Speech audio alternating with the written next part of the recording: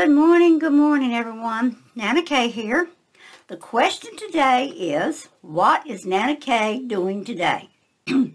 Truth is, most of the time I have no idea. I just jump up and I start doing things. But I have wanted to show you a few little things that I've made. Excuse the mess, because when I crap, I make a mess. I don't make any apologies for it. I am not real eloquent about anything I do. The way I dress, the way I look, I'm just not an eloquent person. Even though I'm very, even though I like lace and pearly stuff, I'm not a very eloquent person. But anyway, all beside the point about me. What you see on my desk is a combination of um, printed sheets, that I can use to decorate some things, some fussy cuts, some background sheets, and um, the signatures we're working on. And I, I, am a little hoarse. Please excuse me. I'm still fighting this bronchitis. It's trying to attack me again.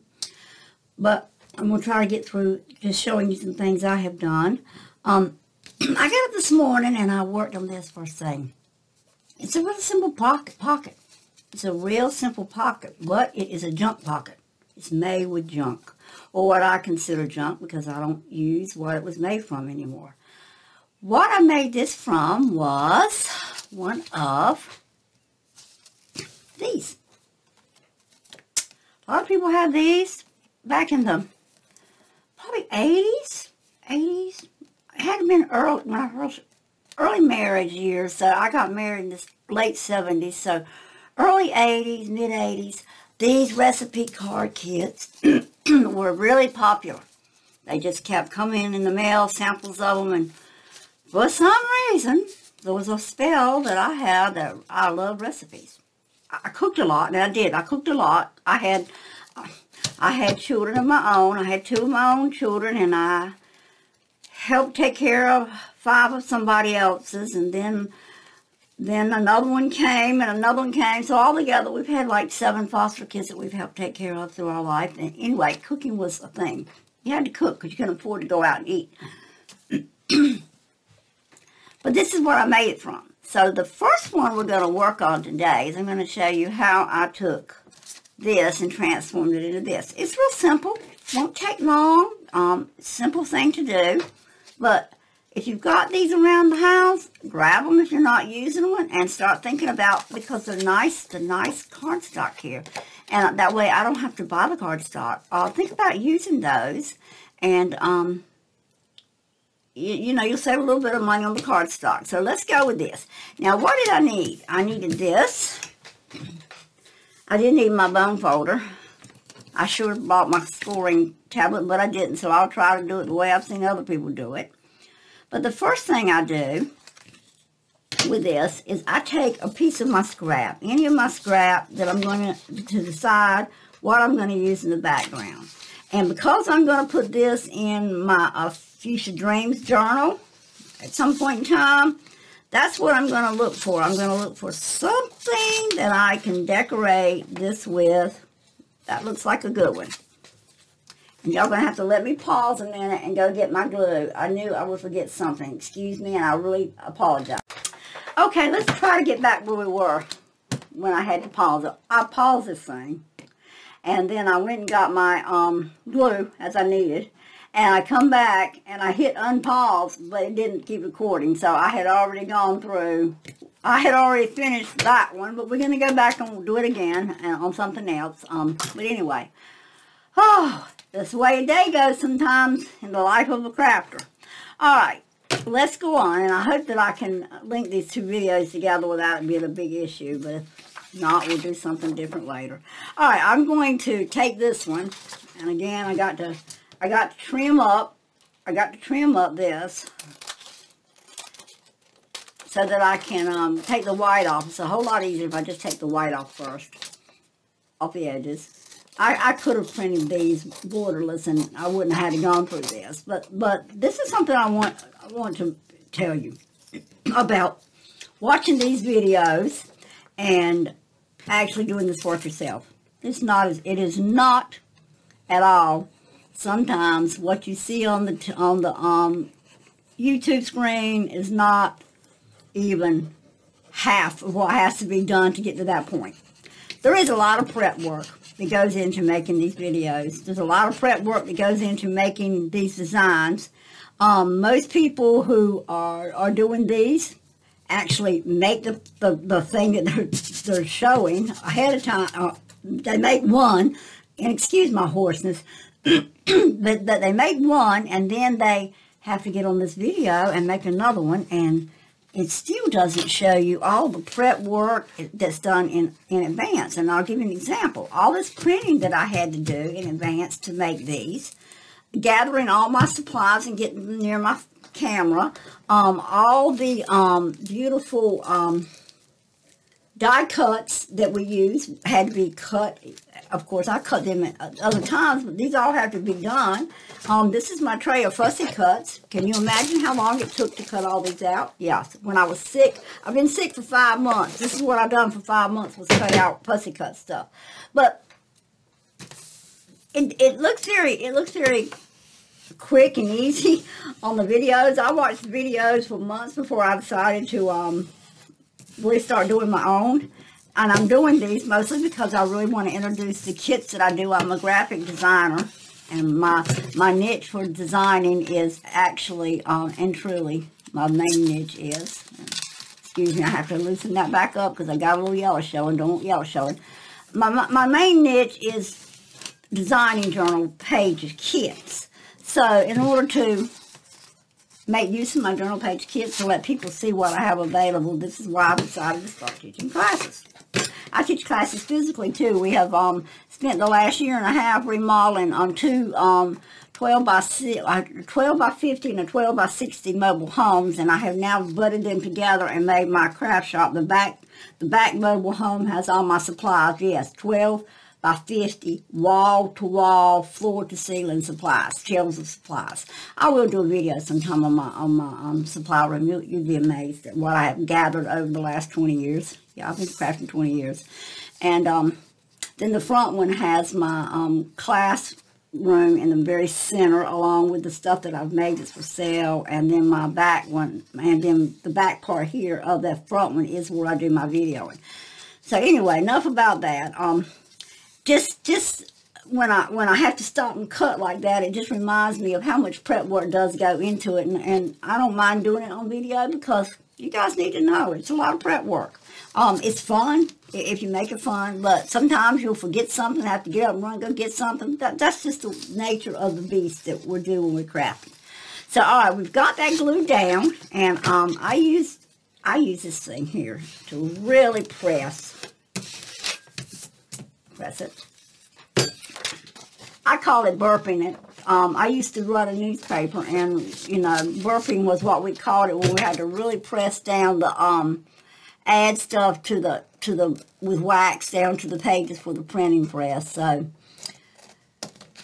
if I say burping it, don't think I'm crazy. Most of the people here say wielding or welding it. I think it's what it's called when you're doing this. But what it really is, is really making sure that one piece of paper is adhering to the other and a tight thing. So if you get all the air out from behind the glue, then, then you've got a really tight fit. All right, going on, I'm going. I'm trimming around now. I'm trimming all this off the actual cardstock of that uh, that old recipe card all the way around. And again, these corners are not great on these recipe cards.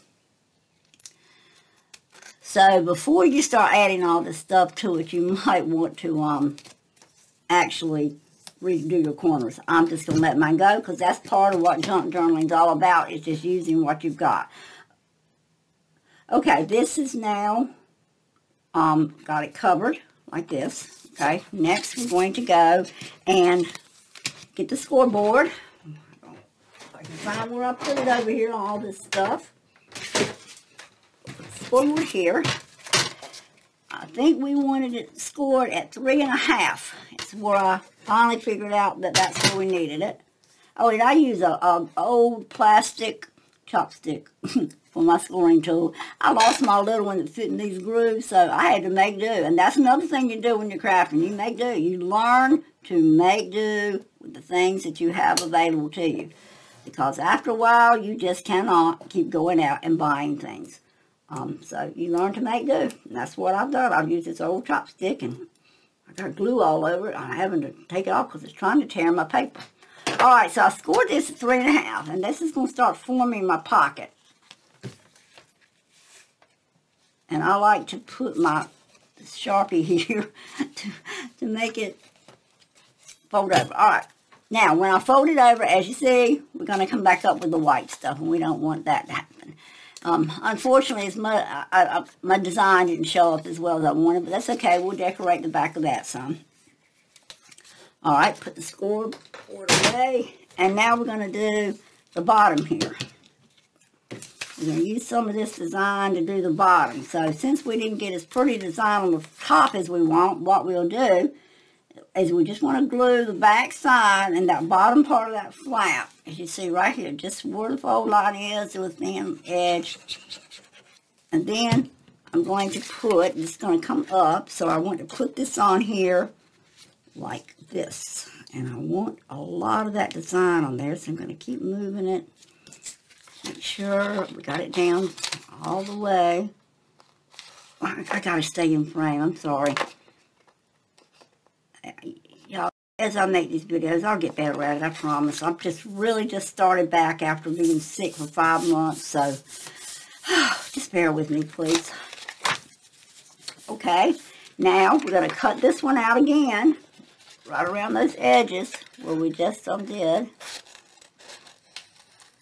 And then once you get this cut out, just just double check and make sure the glue did get all the way to the edge. If it didn't, you, you'll need to just squirt a little bit of glue on it. There's one of those corners I'm talking about. It almost looks like they just clipped it off at, a, at, a, at an angle. It's not a pretty rounded corner, but like I say, it's a junk. It's made with junk, so we're going to just leave it.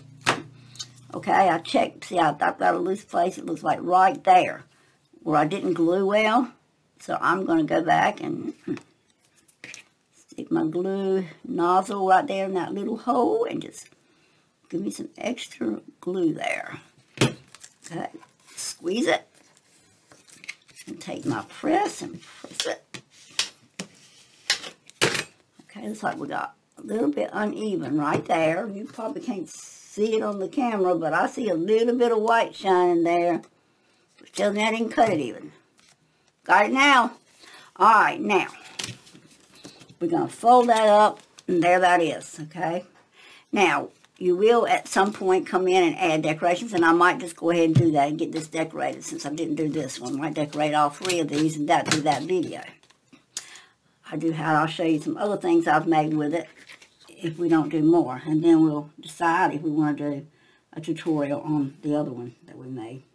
They're really fun. These are fun to do, especially since I know I grabbed old stuff. I love, I started out junk journaling, so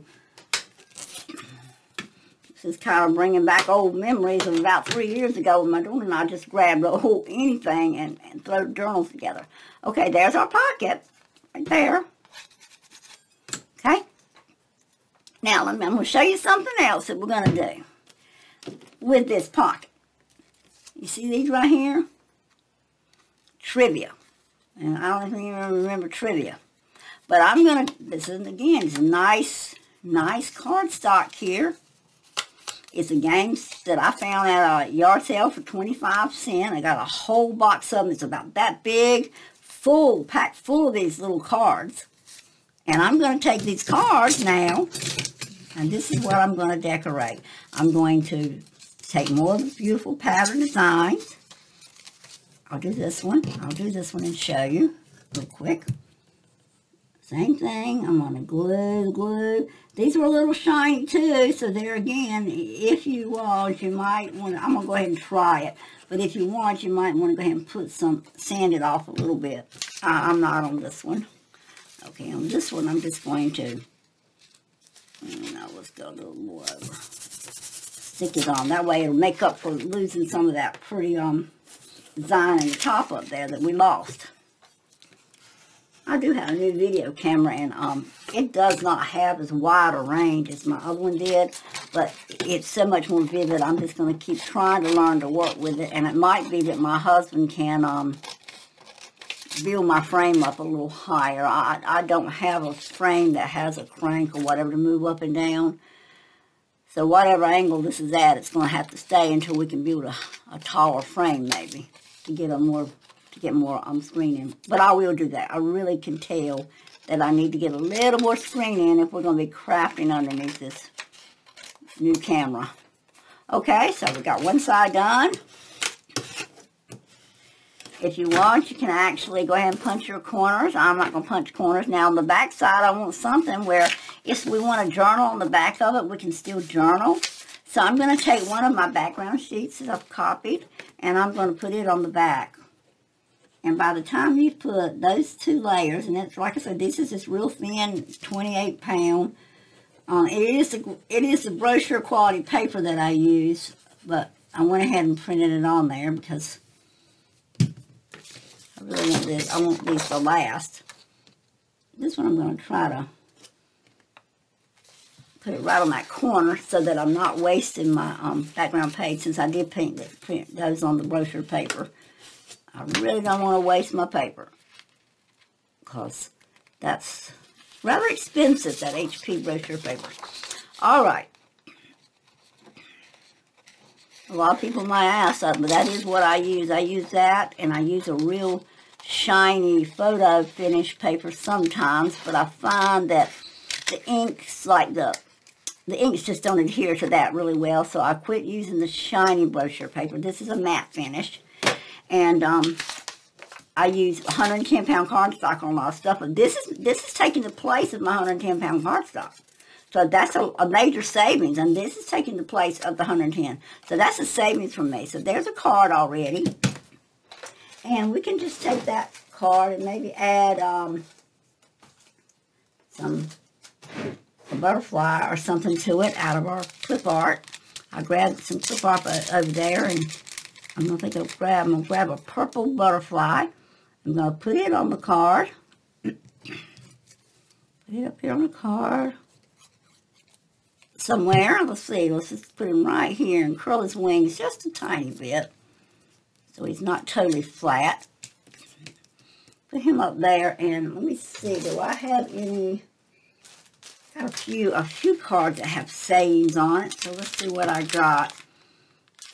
That says rise and shine. Don't think I quite went rise and shine.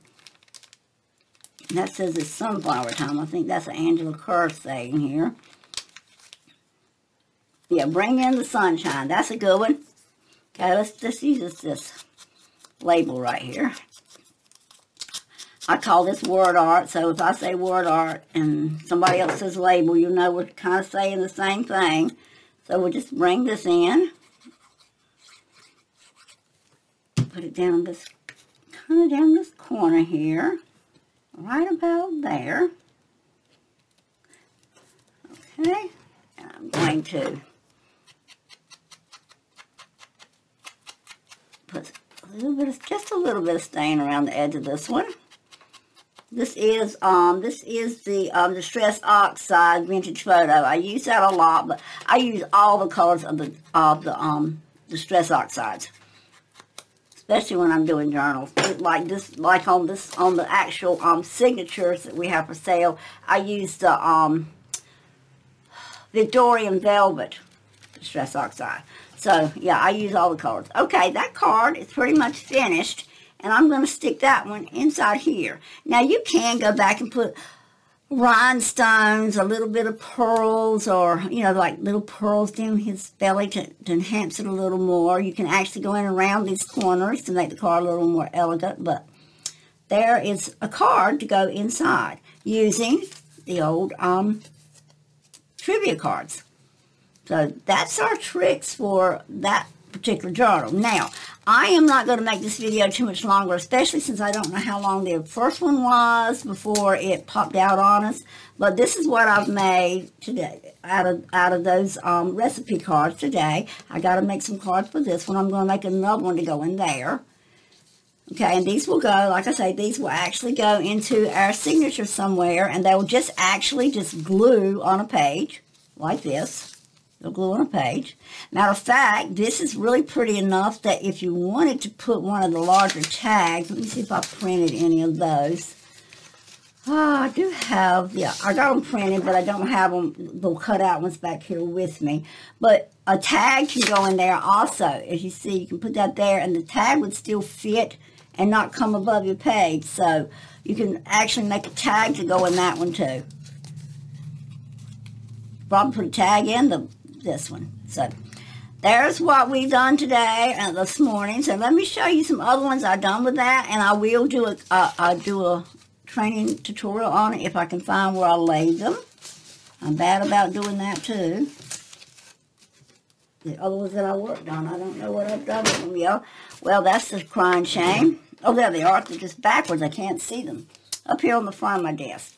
Okay, I took another one of these. Well, no, this time I took, on this particular one, I took two of these and um, glued them together really lightly and covered, covered both sides.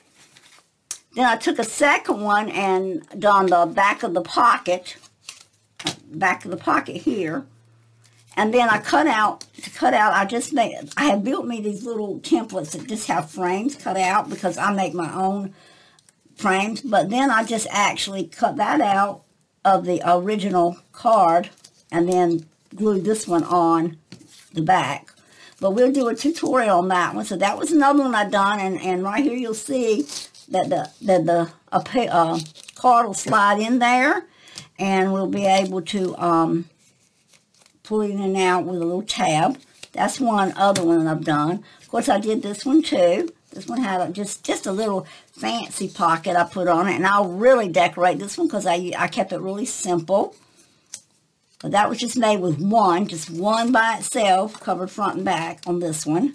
This particular one, you actually, if you have, have it on your journal, what my intent for this one is, it's going to go as a wraparound this way. You can wrap around it, you can wrap it around this way, and then you'll have it here, and you can journal something here or put another pocket just down here. And on the other side, when you come to the journal, this is something that you can actually put a pocket here something underneath here and and you can write on here or what you, there's just lots of things you can do with this one. This is a wraparound that we'll be doing. And then this one is another one very similar to the first one, except it's just a single card with a frame built around it and a, and a backing. And then I made a card to go in it right here. So it's got a pull out. And this is another one. It'll just actually glue on a page and you'll just pull it out. It, this was probably glue to the point where you actually can see it. When your book is closed, you can probably see the tab like that. When you open it, you'll be able to pull the card out and write on the back of it. Okay? But that's a few little things that I've done today. It's um it's Tuesday, the day after Memorial Day, and unfortunately, Nana Kaye has to go to her other job. I am nearly 70 years old and I still have another full-time job that I have to go to, not counting the fact that I am actually trying to help raise a two-year-old grandson.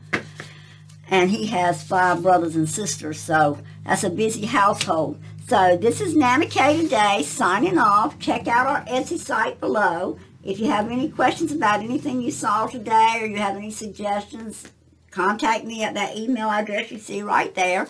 I appreciate those that are returning um, to watch my videos. I hope that you have subscribed, and I appreciate new people today. Please go down and subscribe to help me get known on the on YouTube in the YouTube world.